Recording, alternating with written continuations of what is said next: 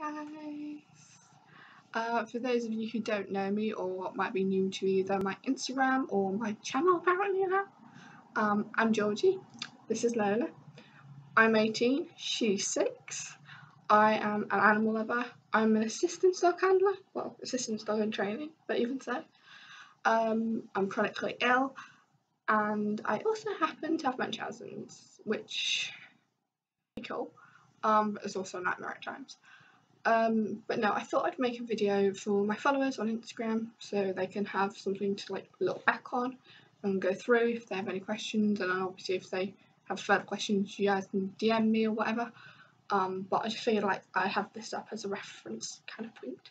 Um, I'm also considering starting a proper channel on here talking about all sorts of stuff, not just Munchausen's, talking about chronic illness, talking about assistance dog, and just kind of general me stuff.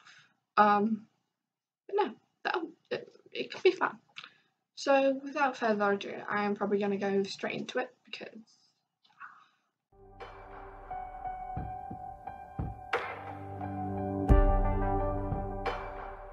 First kind of piece of knowledge I wanted to gather was what is Munchausen?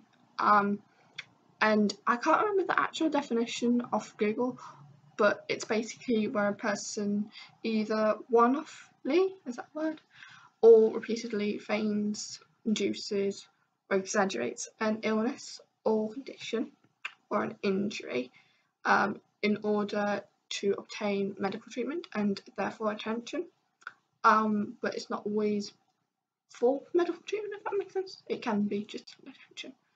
What it is not is um, going after drugs. And it's also not um, Munchausen by proxy or FDIO, which is um, where you produce the symptoms of harm in someone else. So it's normally a mum and a child, but it's not always a mum and a child. It can be anyone. Like there have been some seriously creepy cases out there. Like Google it for loads. Um, Munchausen itself is completely separate from those two. So I I I liken Munchausen in itself and Munchausen by proxy to be like diabetes type 1 and type 2. You can, they're both separate, they're under the same umbrella, but they're separate illnesses in themselves. Um, but you can have like a 1.5, which is like kind of like parts of both and one, if sense. But I guess in case, it's diagnosis too um, along alongside that um, is the symptoms that I use, uh, symptoms symbols that I use um, alongside it to help kind of express myself. Number one is the cute little rabbit, and I actually have a little rabbit pendant um, on me, um, and I use that when I'm in hospital for Munchausen or I'm being treated or whatever. Um, if it's Munch related, I'll be wearing it basically. Um, but also I use the spiral because it's so addictive and it, you can get kind of sucked into it really, really easily and it kind of sucks.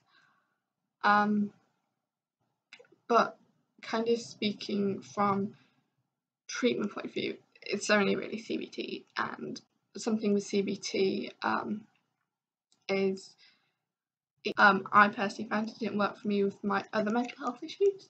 So I very much doubt it will work for this one, but you know, do what you do. Um, that is one of the reasons because there is no fucking help. Um, and another reason is if you kind of put yourself in my shoes, um, the amount of stigma and hate coming down on you, the amount, the way we're treated in hospitals that is um, compared to how we need to be treated as munchies. Um, I have seen some horrific things. I have experienced horrific things. It's just not nice. Um, and also kind of you can lose everything basically. You can lose your housing, you can lose your benefits, you can lose your treatment, you can lose your complete dignity, you can lose your job, you can lose just gone. Um, and it shouldn't be like that. Um, but it is unfortunately. Um, for me personally, this kind of entire setup is provided on the basis that I have a disability, which I do, um, more disabilities. Um, but if I was to come out as a munchie and try to get out, I would end up in a lot worse position because people don't don't understand that chronic illness and munchausen can exist side by side. Um, so that's kind of one of the issues we got with it. Um, in terms of causes, um, I'm not going to get into this in great detail, but there's kind of a few uh, hypotheses, theories um, with regard to causes, and one of them is um, abuse. One of them is MSBP, so that's kind of like a subcategory of abuse. So, for example, if your mum or dad or caregiver had MSBP and you're in hospital a lot as a child, um, or if you're in hospital anyway, like with chronic illnesses, like I was, um, if you're um, basically it, the correlation seems to be if you have exposure to hospitals at your age, or you end up going into medicine, then you, you could be potentially be at risk. Um, but we, we don't know quite what causes it because there's not enough research. It's not enough research because hardly anybody talks about it. Um, but that's kind of where we are at the moment with it. So now I kind of wanted to talk about um, coverage with Munchausen, which is something that I got really, really excited about about a month and a half, maybe two months ago. Um, and what I'm talking about is Hollyoaks and I think it's Maxine Minniver or something like that, um, and her storyline. Um, I am going to watch the entire thing through and then I'm going to turn it into one big video and then I'm going to upload it along with my thoughts and commentary. So it'll be like kind of director's commentary and it's not director's commentary, it's a munchie commentary. Um, but I was so pumped about that. And from what I've seen of it, some of it is really, really good and so relatable. And I can't wait to show you guys that.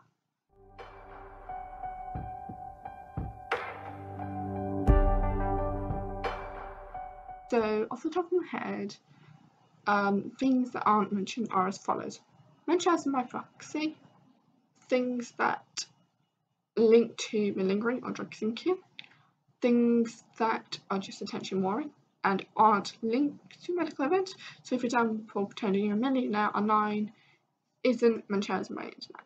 It's just not. Um, I've also heard a lot of talk about kind of how we interact with the CI uh, slash chronic illness community um, and how we affect them. Here's the truth yes, we are probably one of the reasons you cannot get your tube or your treatment or your drugs without kind of sounding making you sound like a drug seeker. Um, and we are probably the reason that my best friend at the moment is starving. However, there are budget cuts. There are lots of other reasons doctors are suspicious, and it all kind of plays into one. So, in America, drugs are expensive, and I know in some places you guys are having struggles with finding certain meds, um, and also you, you want to try all the treatment options available and making sure that you choose the safest and best option for you. Sometimes what you want isn't what you need, and so forth. Um, but yeah, I completely hold my hands up to that one. You know, we're not um, we are part of the reason, but we're not the entirety of the reason, and certainly one person is not the entirety of the reason. Um, you can't go around blaming people, um, one person especially, um, for being the entire reason why we can't get as much help uh, in hospitals and so forth.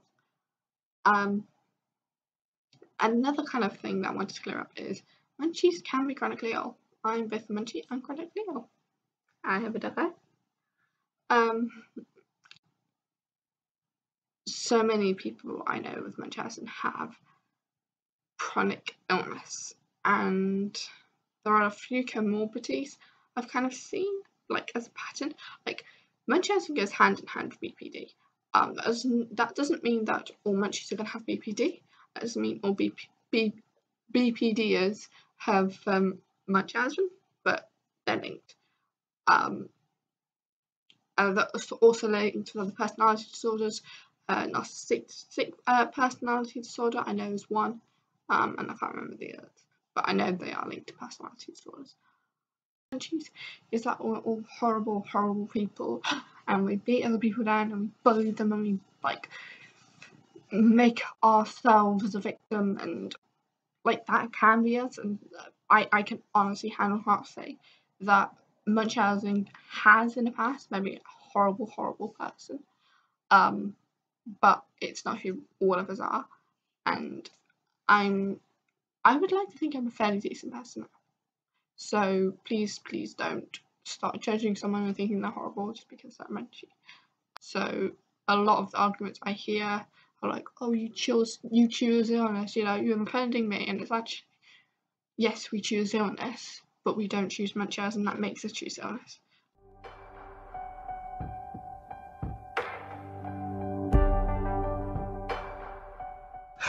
So the next category is um, Munchausen and how it affects me personally.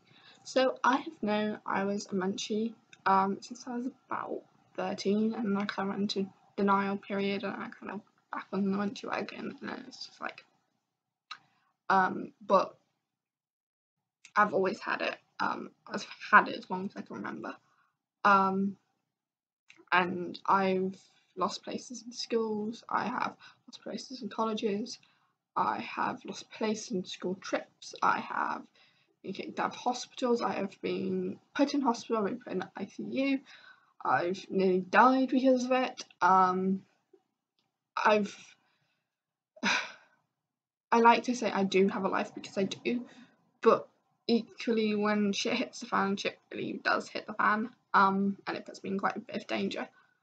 Um, it affects almost every part of your life. It's always in the back of your mind, um, even if it's not coming out directly. So, for example, I I don't know if this is a general munchie thing or just a me thing, um, but I'm a really snuggly person. Like I'm like an attention more outside of munching. Um, I, I, I don't like to be ignored. I don't like if someone's on the phone and they're with me, it's like, hey, bitch, pay attention to me. Like, hello, I'm right here. Um, I am quite clean. I don't like to be left alone. I'm very much kind of um, very, very soppy, fussy, cuddly person, and a lot of people can't deal with that. Um, and because of that, it's affected almost all of my relationships, and a few of my relationships have broke off because they can't deal with me like being in hospital all the time. They can't deal with me being like being fine one minute and almost dying next. Um, they can't deal with the kind of up and downness of it, or they can't deal with the cleanness.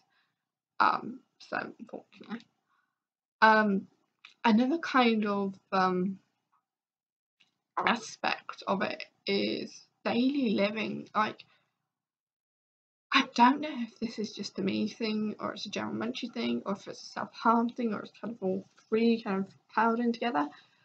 But like you see every opportunity as an opportunity to munch and sometimes that means you don't sleep, sometimes that means you don't eat, sometimes that means you don't go out because you just know you won't be safe if you do any of those things um, and sometimes you can't sleep because your ideas are so crammed full of all these really crazy, wild ideas that will probably kill you.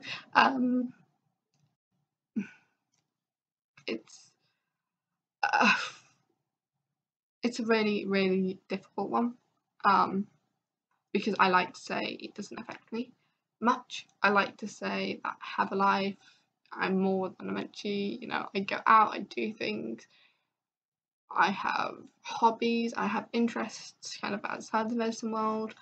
Um, but unfortunately, when my chronic illness stops that, Munchausen kind of joins it and it oops.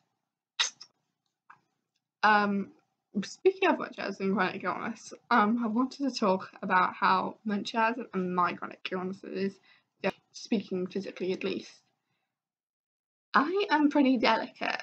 Um, and I learnt as a young child, unfortunately, that it's far too easy to hurt myself. Why don't you just get help?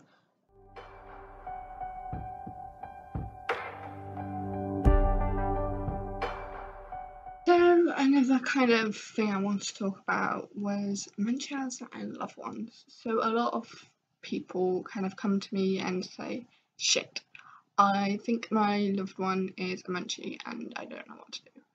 Um, and generally, this is kind of after they get to that point when they start becoming a, quite a bit of a danger to themselves. Generally, people sometimes they do, um, but I've not had it yet. Um, generally, people by the time it's noticed, it's a little bit too late, and it's kind of loads and loads of years of like noticing things in them and like looking back on sometimes videos and like comparing notes and just sometimes you know something's up and like it's a really horrible thing to accuse your loved one on and they're probably going to eat you. Like when you if you go up to a munchie and you accuse them of being a munchie if they're not out they will go bananas. They will accuse you of all sorts of things. They'll probably throw things at you. They'll cut you off as a friend. They'll storm out. It's very dramatic. Um, and this is why I say to them, don't unless you're kind of really really close and you can kind of ease it out of them. Don't ever go up and say, "Listen, dude, sit down. We need to talk." Uh, I think it might be mentioned because instant reaction it's going to be instant deflect. Um, so I say build up slowly unless there is a significant danger of harm to yourself, in which case you probably want to get a doctor's advice. Um, because I'm not a doctor. But I say try to build an intrigue. Um, you know, leave my page open on your phone and leave them out to see. Like, leave, um, just show them that you're trustworthy in all situations and that they can come to you and that you will help them out and you're not going to shun them or judge them, push them away or call them crazy or insane or break up with them or anything like that. Um, because that's kind of what we're really, really scared of. Um, coming out is such a big leap and it's the most horrifying feeling. I can only describe it as the feeling of your entire life falling apart in front of you feeling really hot and sweaty and clammy, and it's almost like a panic attack, a silent panic attack, and all you can hear is screaming, and everything's telling you to run away, and it's horrible. Um, so generally trying to out them isn't the best thing because they tend to get quite violent and just it doesn't end well either for your friendship or them themselves because generally they're trying to prove themselves to you and that could mean inducing, it could mean faking, and that means more hospital admissions, which means more danger, which means it, it's just it's not really a gamble you want to take. Um, it's a really really complex one. Um, kind of on the other side of the coin, if they tell you a munchie, a lot of people are really really shocked, and I've had one or two people come to me and be like, oh, I don't know how to support them, basically.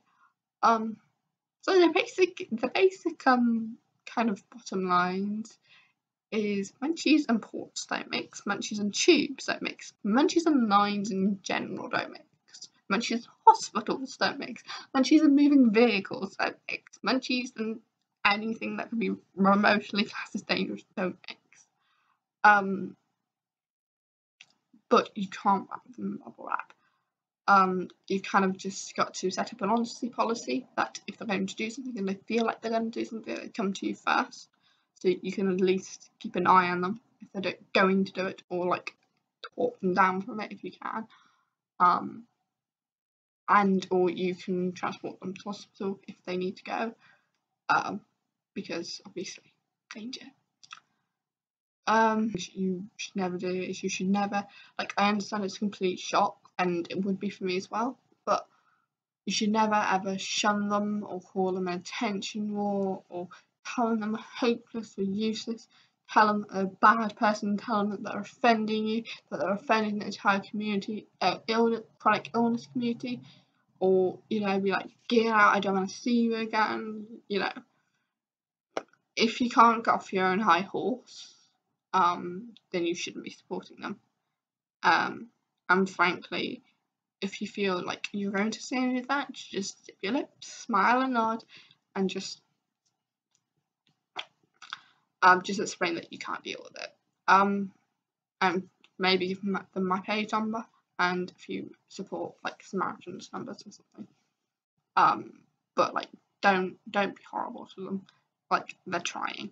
Um, and coming out is a huge, huge step and it's so scary. Um, but ultimately, I think a lot of Munchausen is trusting your companion, um, your companion, your friend or partner or whoever to stay safe. Um, my friends don't know what's going on with me generally, um, and I'm alone in this giant ass room. Um, I have access to main roads, I have access to hospitals, I could hop if I wanted to, and I don't, and I'm just fine. Um, because I've got my community um, to chat with, I've got this to be doing, um, and I find ways around it. Um, on that sort of note, um, I have had several people now come to me and be like, I'm a munchie, or I think I'm a munchie, what do I do?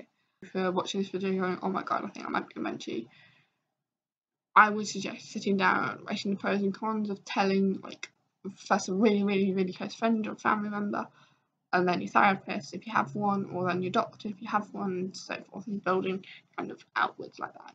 You don't have to tell everyone, you can just tell like a select few people, like um, you might only want to take like one doctor and friend just so they can them know, or just a doctor, or um, you know, wh- wherever floats your boat. Or you might choose to kind of keep it internal and kind of try to work it through. Um, but obviously, my advice then would be please make sure you stay safe. It's not shameful or a secret or something you have to hide and it's horrible and you, like basically nobody has to go through this alone. Like that's my motto and it's always been my motto. Um, I, I don't want anyone to go through the hell I've been through. Um, trying to figure myself out. Um, and the hell my friends have been through as well. Um,